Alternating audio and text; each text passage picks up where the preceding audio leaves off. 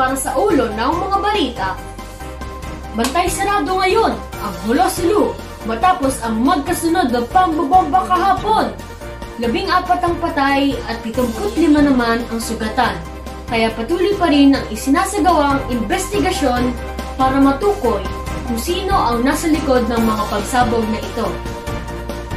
Para magbigay ng ilan pang karagdagang balita, ay makakasama natin ang ating on-site correspondent na si Kit Filomeno. Pasok!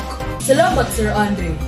Dakong 11.54 nga ng umaga nang mayroong isang tricycle na iniwan sa tabi ng truck ng mga militar. At ilang saglit lang ay bigla itong sumabog kung saan anim na sundalo, anim na sibilyan at isang pulis ang nasawi. Ito ay nangyari sa Paradise Food Plaza malapit sa katedral na pinasabog noong nakaraang taon. Agad namang dumating ang ilang opisyal ng militar at kapulisan upang imbestigahan ang nangyaring pambobomba. Ngunit makalipas lang ang isang oras, isang babaeng suicide bomber naman ang nagpumilit na pumasok sa nasabing lugar.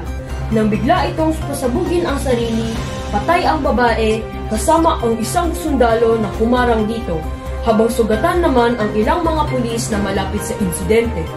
Sa kabuuan, Sir Andre, ay pitong sundalo, isang pulis at anim na sibilyan ang nasawi, habang 75 naman ang sugatan, kabilang ang 21 sundalo na agad namang dinala sa ospital. Sa ngayon, patuloy pa din ang pagsisiyasat kung sino ang nasa likod ng mga pagsabog na ito. Salamat, Kit! Ah, kamusta naman yung mga nakatira dyan malapit sa pinangyarihan ng pagsabog? Ah, sorry sir, medyo choppy. Mahina ang signal dito at maingay kaya hindi ko masyadong marinig. Ah, okay. Ah, yung mga taong nakatira dyan, kamusta naman sila? Ayun, ah, medyo balisa pa din ang mga tao dito at kahit kami ay doble ingat talaga dahil hindi namin alam kung kailan ulit magkakaroon ng mga pagsabog. Kaya karamihan sa mga nakatira dito ay nasa loob lang ng kani-kanilang mga tahanan. Ano daw kaya ang posibleng motibo kung bakit nagkaroon ng mga pagsabog yan? Ah, sa ngayon sir, medyo mahirap pang sagutin yan.